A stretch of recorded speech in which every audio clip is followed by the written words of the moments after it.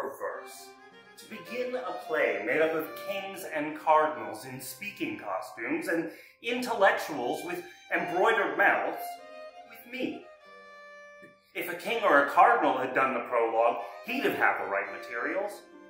And an intellectual would have had enough majestical meanings, colorful propositions, and tightly woven liturgical stuff to dress the House of Lords.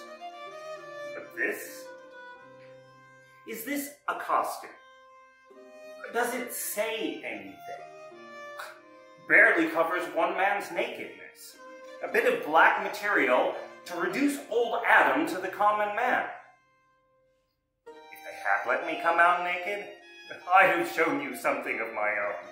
And that would have told you, without words, something. Old Adam's muffled up. Now, for a proposition of my own, I need a costume. Matthew, household steward to Sir Thomas More. There's company to dinner tonight. All right. A common man, a 16th century butler. The 16th century is the century of the common man. Like every other century. That's my proposition. Now, my master, Sir Thomas More, would give anything to anyone. Now, some say that's good, and some say that's bad. But I say he can't help it. And that's bad.